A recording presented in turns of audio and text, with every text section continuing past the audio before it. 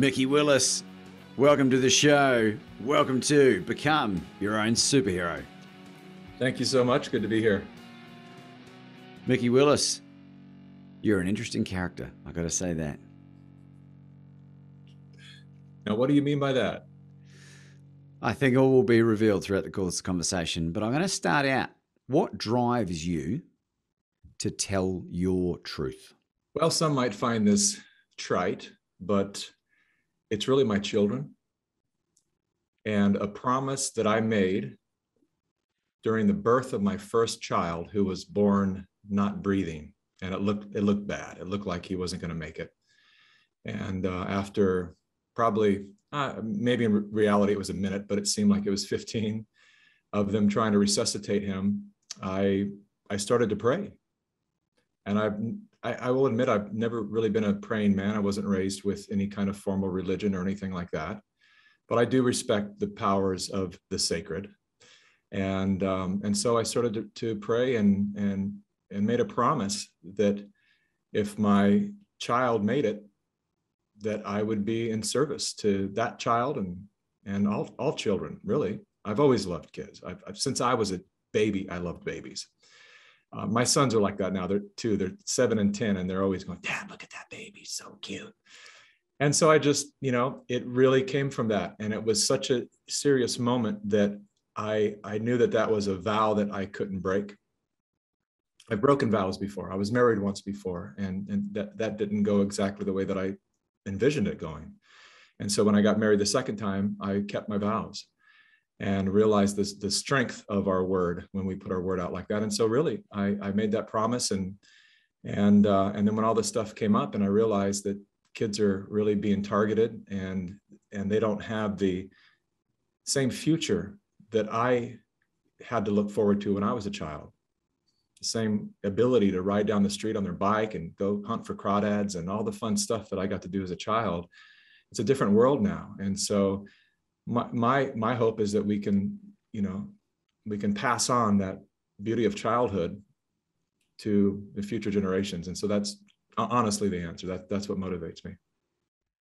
Yeah I, I wonder what it is about near death experiences whether it be with ourselves or people close to us that have that that impact that that spiritual impact for people that weren't ordinarily spiritual. And i'm experiencing a lot of that in my own life Mikki becoming way more spiritual. I'm absolutely not religious at all, but I've become deeply spiritual and connected. And the more I do that, really, the better my life becomes. And I know from reading about you and, and conversations we've had, your life is rather extraordinary in many ways. You come from an amazing Hollywood background, which I wondered if you'd just share a little bit of your bio about what you've been doing prior to this. I'm not sure that it was amazing, but I definitely come from a Hollywood background. Um, you know, I kind of fell into it. I, I didn't have the dream to be famous or, or, or, or, you know, to be an actor or anything like that.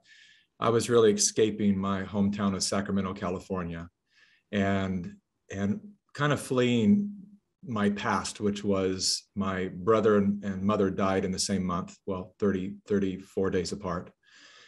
And um, and I just wanted to put it all behind me and start over because even being with family was a, reminder you know? And so it's like let's start new let's in a new environment. And and i had already been in, mu- in music. I was in a band. And so it felt like well i guess entertainment is is really what's there for me. And so let's go check this hollywood thing out.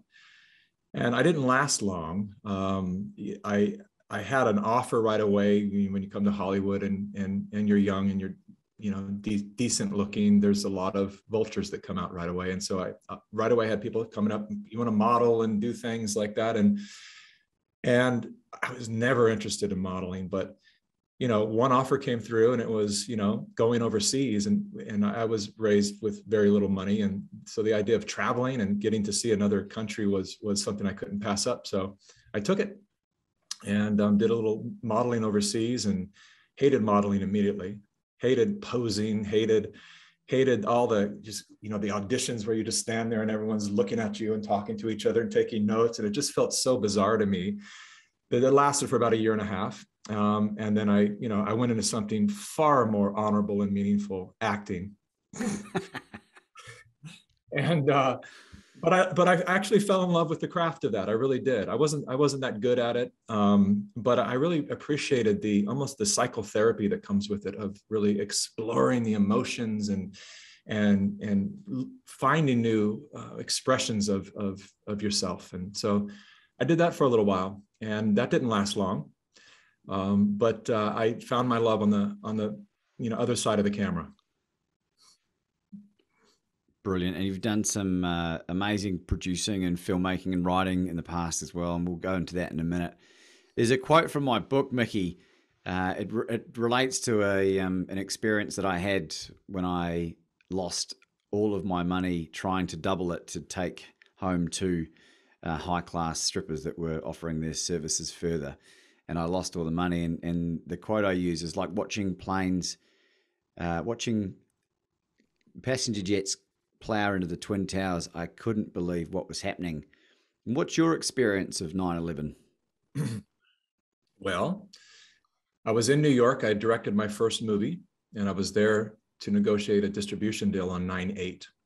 And, and a strange part of the story that I, I rarely tell, I'll, I'll go ahead and share it with you right now. And that is the person I was staying with, he was actually produced the Howard Stern show, and he was a friend of mine. And we went out to dinner on 9 9. And during the dinner, he found out that I'd never visited the World Trade Center. I was staying at his place and he said, What are you going to do tomorrow? I'm at, I'm at work and you know, you should go do something. It's your last day here. You leave on 9 11 and uh, go check it out.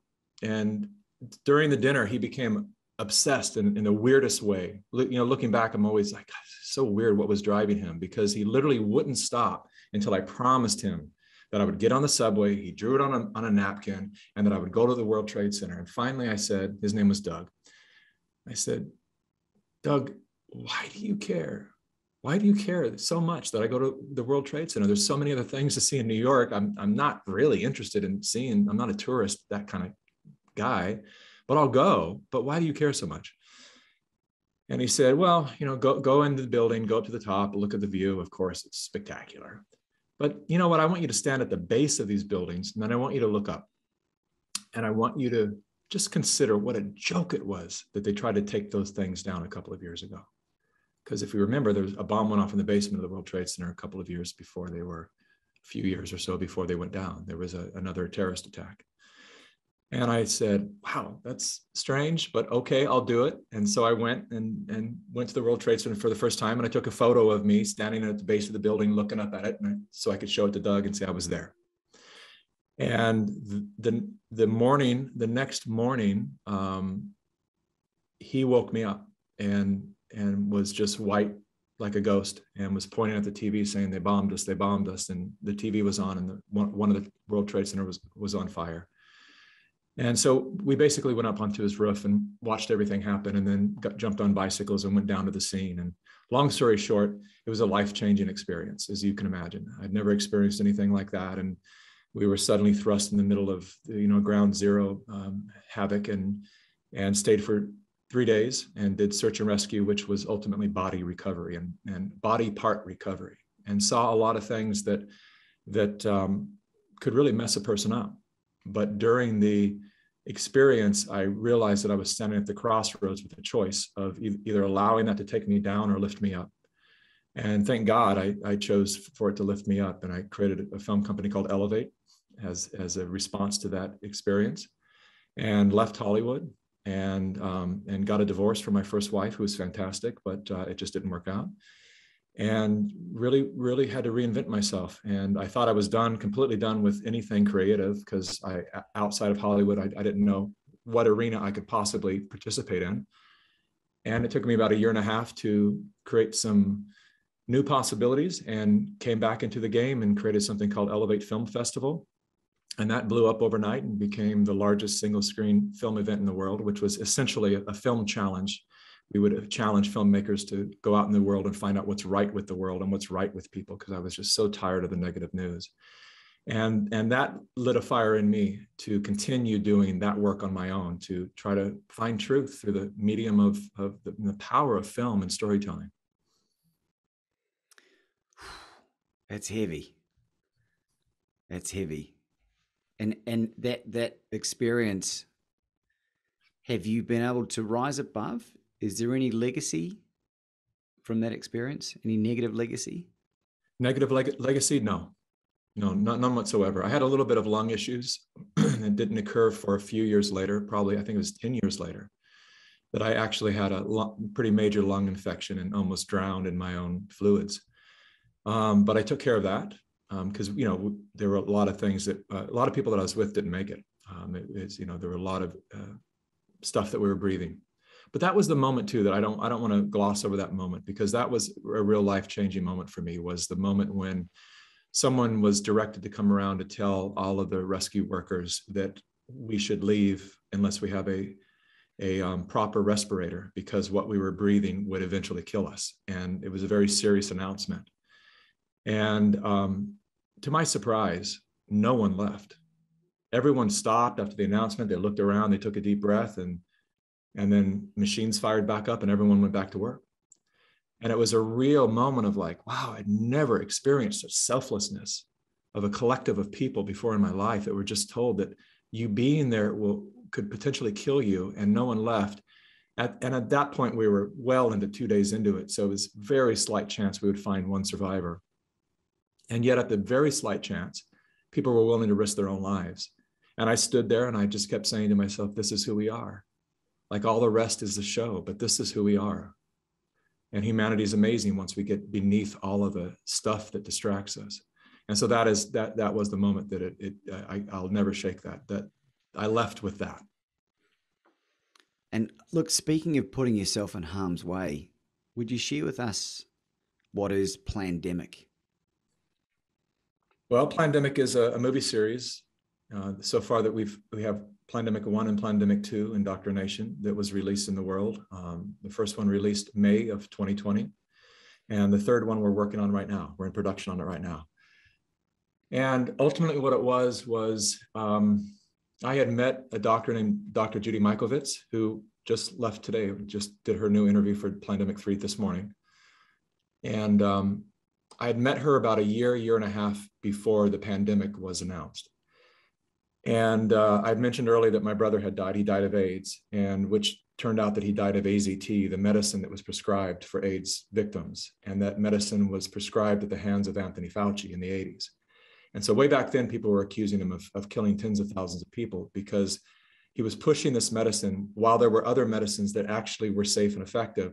He was really pushing hard this AZT, and it turned out to really kill the T cells um, to do the very thing that the virus was accused of doing. So it made things worse and it killed you know, tons of people in Africa and beyond. And my brother's community, my brother was gay, and his community told my mother and I, he said, they said, you, you, he, David did not die of AIDS, he died of the medicine. And so I never forgot that. And I met this woman named Judy Mikovits, and she was finishing up a book and somebody introduced her to me and said you might be you know interested in directing her movie. She she needs to be like an Erin Brockovich movie. It's one woman up against the whole corrupt medical establishment. And so she came to my office and we talked. And i loved her right away. I knew she was telling the truth right away. She's just that archetype of people that you just know. She's just there's just no act at all. And she told me her story. I just sat completely silent for probably 90 minutes and she told me her whole story and I, I, really wished that I could help her, but I was in the middle uh, at the moment committed to another documentary called The Narrative, which was to pull back the curtain on the mainstream media. Having been in the media for 30 years, I, I know the game and I knew what they were doing to our collective psyche.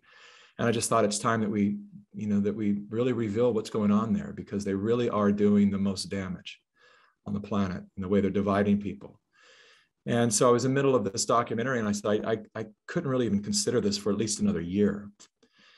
And, uh, and then I'd kind of forgotten about the project. And then the pandemic was announced. And I knew right away. And I knew because the whistleblowers that were part of the narrative were telling me, they were watching all of the signs and they were saying, beware, a false flag is going to happen very soon, which is an, a, a, major um, um, concocted event to, to create an atmosphere of control and, and panic. And sometimes it's a, an event that will force us into war with another nation, whatever it might be. And so they kept saying this. Every, every whistleblower I was talking to said something's going to hap- happen really soon. It's going to happen this year. because too many things were being uncovered. And um, and so suddenly the pandemic was announced, and I reached out to the whistleblowers and I said, "Could this be it?" And most of them said, "It is it." And so I, I then called Judy Mikovits and I said, "Can I can we meet?" And she only lived about 20 minutes from me, and I went and I sat down and I talked with her. And halfway in that conversation, I said, "Let's stop," because I think what you're telling me is so important that it, we need to capture it on on video. Let's let's do an interview. Let's do a sit down interview, and that's how it started. And she came to my office. We sat down and we recorded it. And I thought, at the very least, I'll go ahead and put it out on my Facebook page. But at the very least, it'll be a document for her so she can help get her movie made because I felt bad that I wasn't able to be there for her. And I'll cut it together and I'll give it to her and she can use it as kind of a promo to get her get, get her movie made. And by the time I was done editing it, I realized, and things are developing within the within the pandemic, that I realized this is this is way more important than I thought it was, and we need to actually release this and do it right. It, the people deserve to know this information, and I had done enough research to validate each of the claim that she made, and said, "Wow, it's so contrary to what the media is saying." And I already knew the media was corrupt, but I just couldn't believe, you know, that they were going to the extent they were um, to destroy the, the, very country that they live in. You know, each different, you know, national media, they would they would be willing to destroy their own economies, their own people, and elderly. And I just I, I thought I can't I can't believe it's this bad. I, I knew it was bad, but not this bad. And so we put it out there on May 4th, pushed the button and said, May the 4th be with us. And um, and it did what it did and became the most um, viewed and censored piece of media in history and uh, and and then we we did number two to to back that up. And so far, every every single claim in both Plandemics have been 100% validated. There's not been one claim, you know. Hence our our, our subtitle, which is 100% censored and 0% debunked. Now I've seen the the the indoctrination, the second one, and I've got to say, Mikki, like if what is said in there is factual it's some heavy stuff.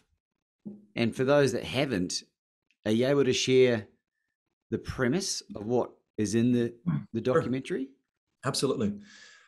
So it I had interviewed after the hype of Plandemic one, I had access to uh, doctors all over the world, a lot of Nobel laureates, Luc Montagnier, you know, who discovered AIDS, and a lot of different, very, very notable people. And and I interviewed all of them and I was on, a, on about number 34 or five interviews. And people were reaching out to me saying, Have you seen this David Martin guy? And they sent me some videos and I looked at it and it, he kind of went over my head. It was all about patents. And it wasn't really about COVID or anything. It was just a paper trail. And it was interesting, but, but, you know, he's, he's so intelligent and, you know, I, I just, I, I'm not on his level. And I, and I, I said, yeah, okay, I've seen it. Yeah, but I don't, I don't think it fits. And then somebody else would send it to me. And then it was finally one of my researchers who happens to be the son of Oliver Stone. His name is Sean Stone. He's a very, very intelligent guy and also a filmmaker. And he he said, You I know David, and you you need to really take this seriously. The guy is brilliant. I said, All right, well, let's get him on a Zoom call and I'll do an interview. And halfway into the Zoom call, I stopped it and I said, You gotta, we gotta get you on an airplane right now come to la because this is this is mind blowing what you're telling me. So Plandemic two is we, we don't we purposely stayed away from any of the hot button subjects. We don't talk about really that much about covid. We don't really talk that much about masks or social distancing or all of that. Um, the only time we address covid is in form of patents and paper trails and conflicts of interest. And so we we literally show um, who's who's funding things. It's all the stuff that's coming out now. So we got slammed by the media be, for being ahead of the curve. People couldn't believe because we said it is absolutely manipulated in a lab. And every single doctor I interviewed, I would ask them that question, and they would say it's not improbable, but it's impossible. It was it, you don't you don't get this sequence in nature and and and not in the time frame from which it developed. And so it was absolutely in some way it was manipulated in a lab. And so let's just start there. Well, that's interesting. And then we, and then through David's work, we discovered that it was manipulated through gain of function research that was funded by Anthony Fauci, through the EcoHealth Alliance, through the Wuhan lab, and it was all these cover organizations to hide it. all the stuff that's just come out this year. And so we were just a, a year ahead of the curve. And um, and then we took it further. You know, I, I, I went ahead and used pieces of what I was developing for the narrative, and I threw them into the movie to really expose how the media works, how the fact checkers work, who funds them, how they're set up, just to help people understand that this um, this this onslaught of information that's pushed at us every single day is is not to be trusted. If the media is all saying it, there's there's typically it's not to keep us informed and safe. It is to push an agenda. And I knew, as I said, I knew it was bad. I just didn't know that it was as bad as it is. And um, and so we go deep with indoctrination. And again, every single claim has been validated. It's, it is, as you said, it goes deep. It's mind blowing.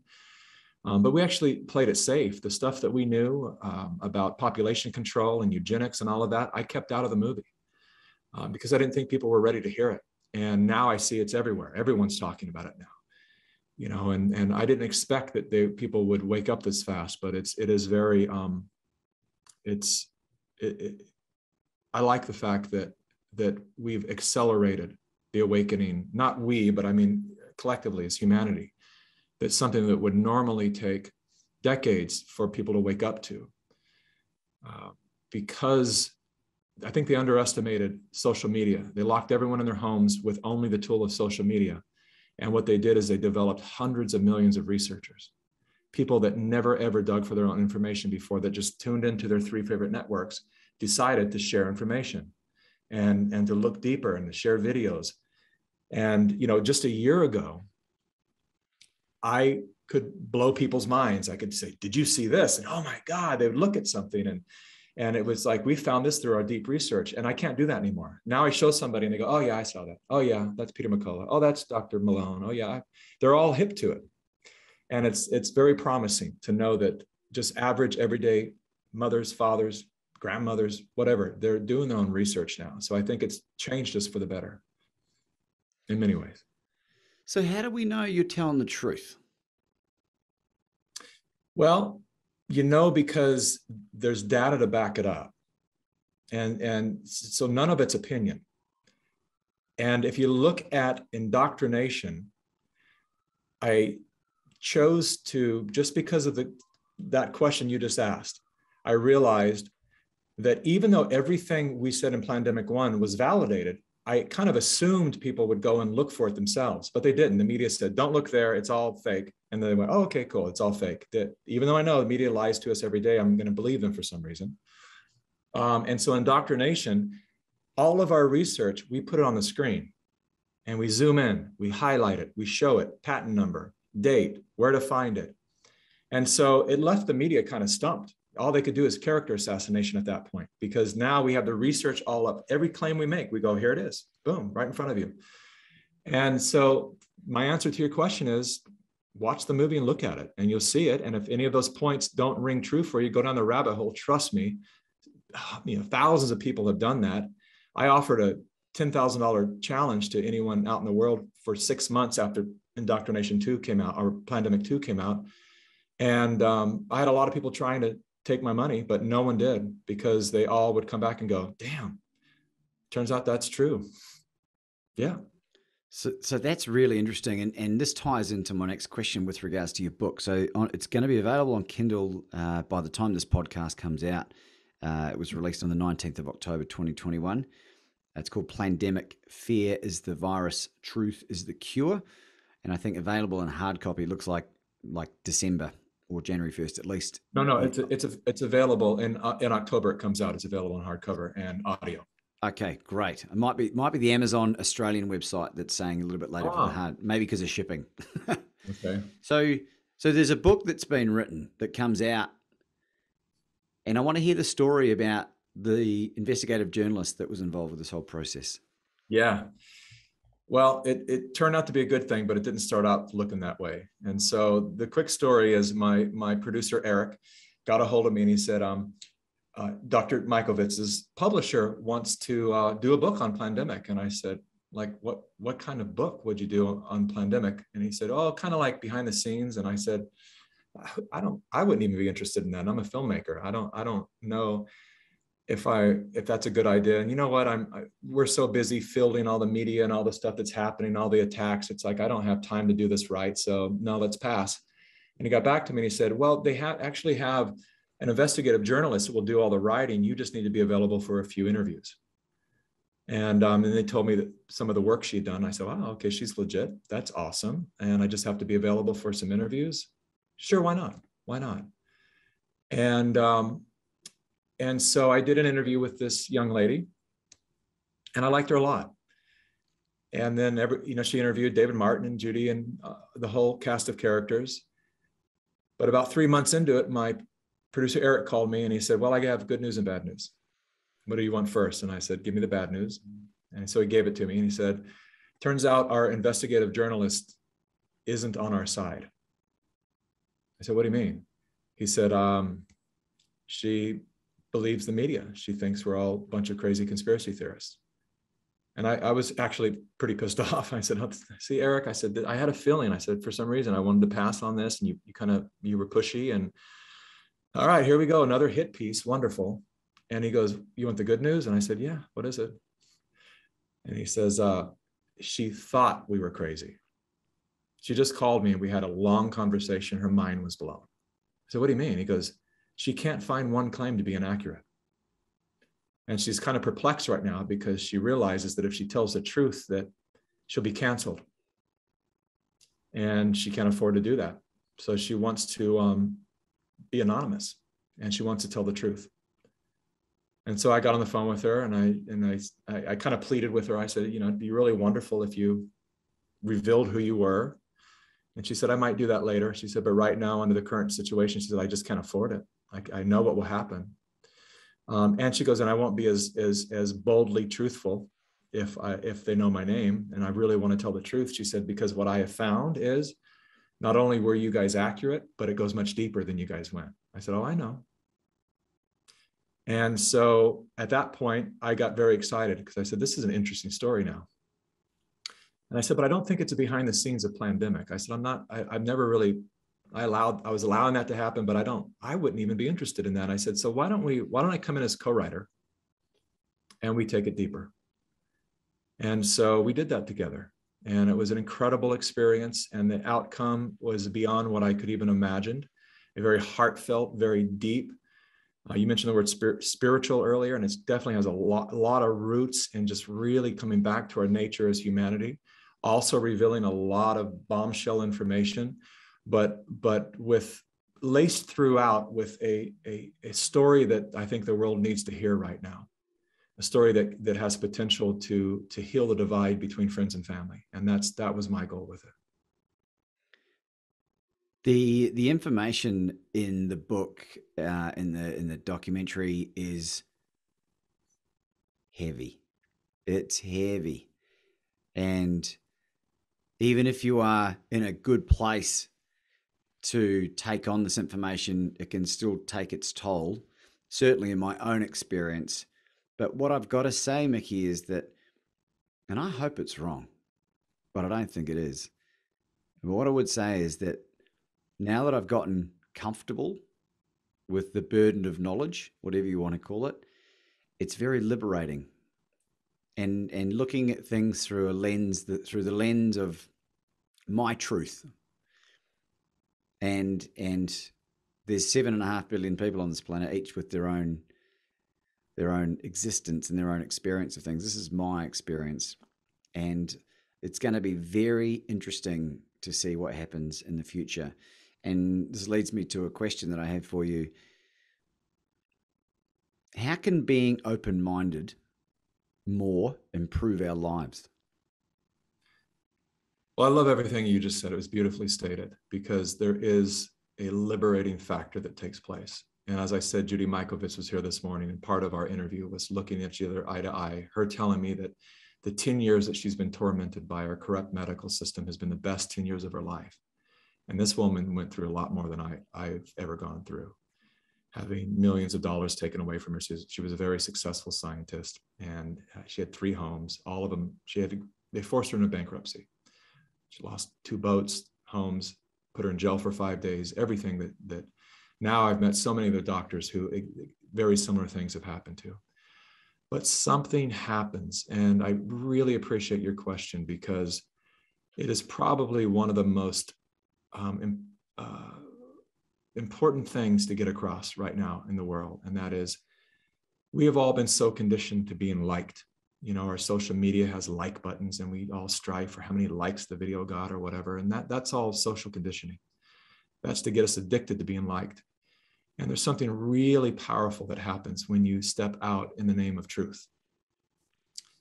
And you let go of that, that, that addiction. And everyone I know, we've all gone through some degree of hell. It's been a roller coaster ride. It's hard to see friends turn on you. Some of them come back, you know, because they go, wow, man, I'm really sorry. But, you know, it turns out you're onto something. And I, it just seemed ludicrous a year or a year and a half ago. And now I see it. And that's wonderful. But a lot of them don't. And it, it can be hard sometimes to, to know, wow, a lot of people I love just went away. They're afraid. And even if they agree, they had to, you know, flex to the public to distance themselves because they don't want to, you know, they don't want to be associated. And um, but what comes as a result of staying true and not selling out. And I mean, it's really important that we don't sell out. It's highly important that that I've had so many offers come through, $17 million offer for Plandemic for to license the brand. And I've said no to all of it. Because we can't fight these greedy forces by becoming greedy our, our, ourselves. And I have no issue with, with obtaining great deals of money. I, I, I don't mind anyone who does that. But I'm not going to capitalize upon this kind of a situation. 100% of my book proceeds go, go to a, a charity cause. And just because of that. We didn't turn on one, one commercial for Plandemic. In a movie that's been seen a billion times, we would have made hundreds of thousands of dollars. Not one commercial did we turn on. But the thing that I want people to know is it's scary, it's uncomfortable. You definitely have to go through a little bit of hell. But the other side of that, like any initiation, any spiritual initiation, is an experience that I didn't know existed in this life. This connectivity, this uh, uh, the authenticity of my new relationships, my new friends, this incredible growing connection between my children, my wife, and myself. The feeling that I'm not just doing work and making money, but I'm actually serving the purpose that I came here to serve. It, there's a how many people? I mean, it's it's so cliche at this point of so many people that appear to be successful, but they're empty inside. And and so I, I feel more full inside than I've ever felt in my life. We're not rich. It's not about the money, but we're we have a, a comfortable home and and incredible experiences with the people in our lives, and they're authentic and real. And I now am flooded with the opportunity to do more of this work in the world. And so there's no more searching for the next job or anything. It's weeding through. Now we make decisions from what will have the most impact, not what pays the most or what will put us on this, you know, higher status in Hollywood or any of that. No more striving for Academy Awards. None of that crap matters. It's just what will move the needle and what can we do here in service in the purest of way. And so it's, uh, I wouldn't change a thing. Judy Mikovits said the same thing. I said, if you could rewind the clock and go back, would you change anything? Would you do it differently? She said, absolutely not. I do it all again because her, and, and she says this in, the, in a quote at the end of my book. She said, I thought I belonged in a lab. I was a science nerd. I never thought that my words could be my medicine, that I could speak in front of a group of people and they would cry and be healed by something that I said. And she said it's an experience that was far more gratifying than anything I could have produced in a laboratory. And so it sparked her purpose in her life. And I, I don't know anything other than maybe our children and our loved ones that, that could be more valuable than that. That's pretty cool, Mikki. That's pretty cool. How can people find you? Plandemicseries.com. That's the website that has all of our movies are for free. My book is on there too. And that links, I will say this, it links to Amazon. And I get a lot of pushback from people that, you know, think it's hypocritical. And believe me, I feel like it is too. And I wish I could bypass Amazon. But it's important for people to know that we are, as we wake up to this, the technocracy that has overtaken our lives, they they own distribution right now. So if we're going to compete and to change the narrative, it's going to take a couple of years. And but right now we're at the mercy of these larger corporations that have the international reach to get the word out. So for me, it's more important that the message gets out there than it is that we that I avoid Amazon right now at this point. And so what we need to do is create new technologies. And I'm involved in new technologies. I'm working with an incredible journalist named Ben Swann, and we have a new platform called Sovereign that we're pushing together. And it's blockchain and decentralized, and, and all these things are being created. I, I know about 20 people that are creating amazing technologies that have moved from big tech to create new things. And those will be live in a couple of years from now. And they, they we won't need these other big tech platforms. Um, but right now, the, the harsh reality is we do. And so um, you can find me at plandemicseries.com. You can find the book on there and all of the films, um, including vignettes from each film. We, we, we pull them out of the film in case somebody wants to just share the 18 minute piece on, on Bill Gates or the WHO or the CDC or whatever it might be. And so they're all there and they're all free and it's subtitled in about 15 different languages. Do you have any concluding thoughts for our audience today, Mikki? well, my concluding thought was going to be what we talked about earlier, you know, just really getting out there with people um, and telling the truth and, and, and, you know, dealing with the discomfort that comes with that. But since I've already said that, what I want to say is that there's a lot of bad stuff that's happening. And what is almost invisible to the eye is the good stuff that's happening. We're in the process of the great purge. And this is what happens when our, our bodies, when we eat something that doesn't belong in our system and it's toxic and it's really uncomfortable and it hurts. And releasing that from the body, the, the purging stage, is, is one of the worst parts of it. But the other side of that is wellness. And I believe from all of my research, from everything that I'm seeing, from the, the top level experts that I'm working with, I believe we're heading towards a wellness that we've not experienced in, in many, many decades or generations. And so it's important, though, that we all participate in that awakening and that regardless of what kind of power we think we hold or, or don't hold, that we, under, that we understand that it's, it's imperative that we all step forward and we start sharing the truth and we start to vote with our dollars. We don't support the systems you know and that's i realize it's i'm you know just had to talk about supporting amazon. So it's a tough thing to do but that we start to really look at what we're supporting how we're supporting it. And we look for new ways to return to nature. I don't mean just you know let go of your home and go live in the woods but to literally return to the to the essence the power of nature we were given everything that we need. Our bodies are resilient and brilliant. And we have been steered away to this synthetic world, this digital world. And we need to come back into our trust of nature and trust in ourselves and each other, to eat the right foods, to not absorb this depressing media all day long, and to stoop to the levels of, um, of, uh, of of dialogue that has us at each other's throats all day long, but to start to listen to each other again. Talk less, listen more. And if you're at odds with your family or friends over this situation, this whole situation has been created to divide us because it's a divide and conquer game.